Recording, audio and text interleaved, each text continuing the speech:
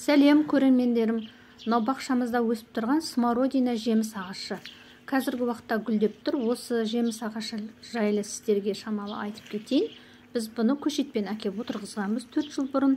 Бұны отырғызған кезде жерін таңдау керек шамалы ықтау және мынандай жеміс ағаштарымен араластырып отырғызған дұрыс.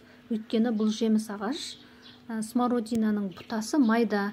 Желге майысып сынып қалады. Сондықтан жиегіне қоршау жасап қойсаңыздар да болады. Я болмаса осындай ықтай ықтау жерге отырғызған дұрыс. Ықтау жер болғанда көлеңке түспеу керек. Үстінен күн сәулесі түсіп тұрған дұрыс. Сонда тез өсіп шығады.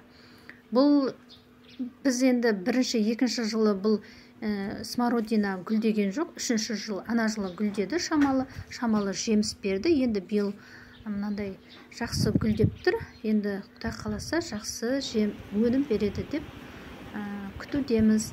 Енді осыны қиюына келсек бұл көктемде өсіп шыққан кезде астыңғы жағынан мынандай бұталары болады қурап қалған. Көгермей тұрады. Жапырақтары шықпай қурап қалады. Соны соны ғана кесіп тастайсыздар. Ә, бұл жеміс ағашы қысқа өте төзімді. Үстіне ешқандай жаппайсыздар осылай тұра береді көктемде өзі көгеріп шыға береді.